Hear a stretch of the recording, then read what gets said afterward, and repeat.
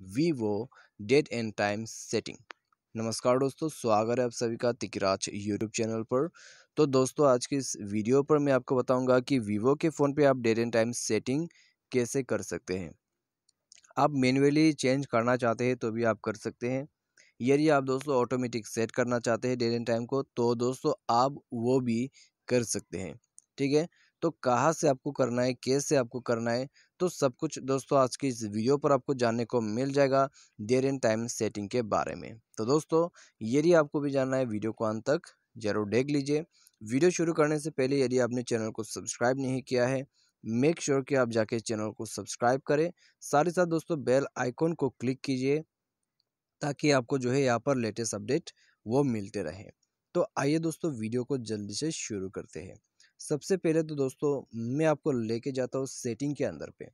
Setting पर जाने के बाद दोस्तों, आपको जो है स्क्रॉल डाउन करके नीचे आ जाना है। नीचे आपको मिलेगा system management.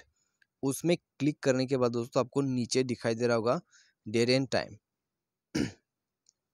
date and time पर जैसे ही आप क्लिक करोगे, आपको यहाँ पर ऑटो का ऑप्शन मिल जाएगा।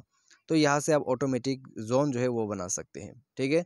और दोस्तों, यदि आपको मैन्युअली सेट करना है तो इस बटन को बंद करके यहाँ से आप टाइम सेट कर सकते हैं।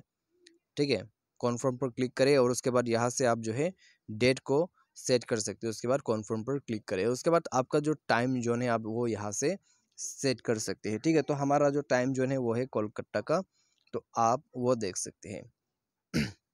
तो इस प्रकार से आप टाइम जोन सेट कर सकते हैं और यहाँ पर आपको ट्वेंटी फोर आवर फॉर्मेट का ऑप्शन भी मिल जाते हैं। यहाँ से आप इसको इनेबल डिसेबल कर सकते हैं, ठीक है? फ़िलहाल तो मैं इसको यूज़ नहीं करता हूँ।